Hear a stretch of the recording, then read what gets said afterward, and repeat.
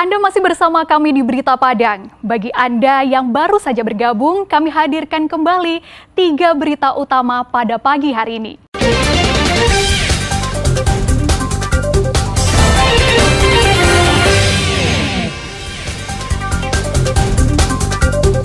Sekolah Menengah Kejuruan Negeri 2 Pariaman terbakar. Angin puting beliung rusak 13 rumah warga. Puluhan remaja tawuran di Padang ditangkap polisi. Empat orang di antaranya membawa senjata tajam.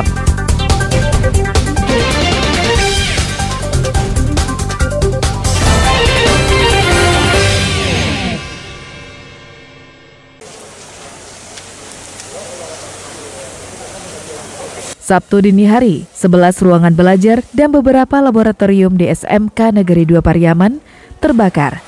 Api begitu cepat membesar menghanguskan seluruh ruangan yang berada di lantai dua sekolah tersebut. Api juga menjalar ke lantai bawah dan menghanguskannya. Tujuh mobil pemadam kebakaran yang datang ke lokasi harus berjibaku memadamkan api. Menjelang subuh, petugas baru bisa menguasai api. Peristiwa ini terjadi secara tiba-tiba. Penjaga sekolah baru mengetahui kebakaran setelah trafo listrik yang ada di komplek tersebut meledak. Ledakan itu mengagetkan warga di sekitar sekolah. Itu terjadi ledakan ada semacam box box dari PLN di ujung bangunan meledak sehingga waktu meledak itu terbangun dari penjaga sekolah. Dilihat api sudah membesar di seluruh ruang lantai dua. Pemadam kebakaran tak leluasa memadamkan api karena akses menuju ruangan yang terbakar terhalang bangunan lain. Alhasil, petugas terpaksa membentangkan selang ratusan meter agar bisa menyemprot dari dekat. Beruntung, mobil kebakaran dari Kabupaten Padang Pariaman juga ke lokasi membantu mensuplai kebutuhan air. Petugas menggunakan empat mobil untuk menyemprotkan air, sedangkan mobil lainnya bertugas memasok kebutuhan air untuk pemadaman. Langkah ini terpaksa dilakukan karena terbatasnya ruang gerak. Akibat kebakaran ini, SMK Negeri 2 Pariaman mengalami kerugian miliaran rupiah. Seluruh peralatan yang ada di laboratorium hangus terbakar. Peralatan tersebut terdiri dari alat peraga, puluhan komputer, dan peralatan untuk praktek tata boga. Dugaan sementara, kebakaran ini disebabkan oleh hubungan pendek arus listrik. Namun polisi akan menyelidikinya secara seksama untuk mengetahui penyebab pasti kebakaran. Eki Rafki melaporkan dari Pariaman.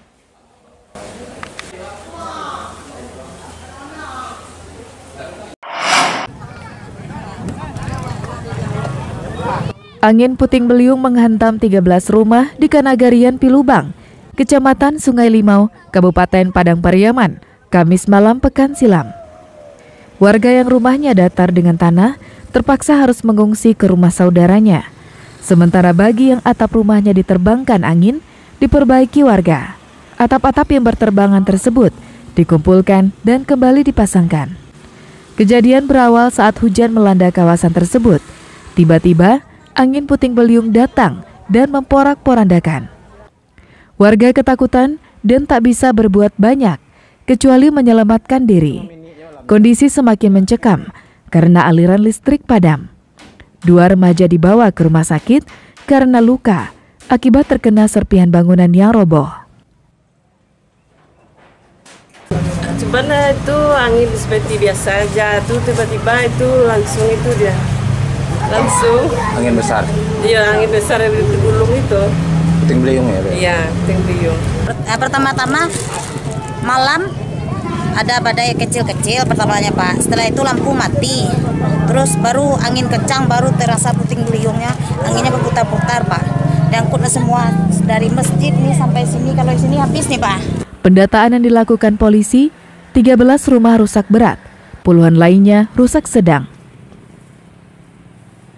Sesuai dengan laporan eh, dari Wali Nagari, eh, itu kurang lebih ada 13 rumah warga yang terdampak akibat angin puting beliung semalam. Yaitu ada yang rusak berat, artinya kalau rusak berat ini total. Kemudian ada sebagian rusak sedang. Warga diimbau untuk waspada. Pengumuman BMKG, cuaca ekstrim masih terjadi hingga beberapa pekan. Eki Rafki melaporkan dari Padang Pariaman. kamar mandi, sini kan nggak ada kamar mandi, Pak.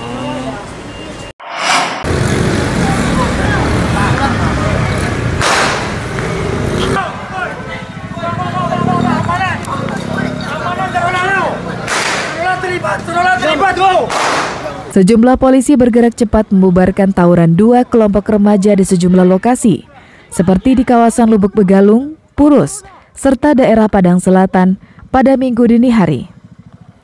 Remaja yang tawuran, kocar kacir melarikan diri ke permukiman. Ada yang naik ke bangunan terdekat, ada pula yang bersembunyi di balik bangunan. Polisi yang sudah mengetahui keberadaan mereka tetap mengejar dan menangkapnya.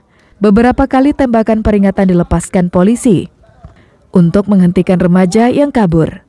Mendengar letusan senjata, nyali mereka pun ciut. Remaja ini pasrah dan menyerah. Setelah ditangkap, mereka pun berdalih hanya melewati daerah itu. Ketika dikonfirmasi dengan remaja lainnya, barulah ketahuan jika mereka adalah lawannya. Polisi menangkap 26 remaja yang didominasi oleh pelajar.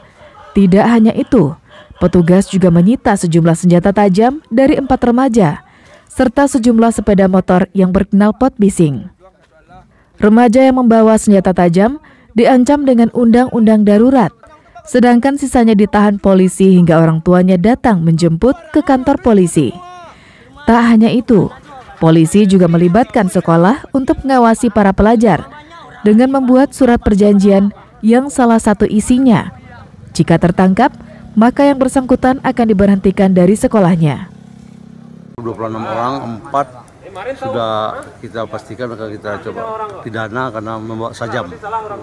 Kemudian mereka ini nanti akan kita pilah-pilah lagi mana yang pelajar, mana yang tidak dan nanti kita akan panggil kepala sekolah atau orang tua mereka untuk membuat surat pernyataan di Polresta Padang. Razia cipta kondisi ini digelar Polresta Padang saat perayaan malam tahun baru untuk menciptakan keamanan dan ketertiban masyarakat yang kondusif. Alfi melaporkan dari Padang.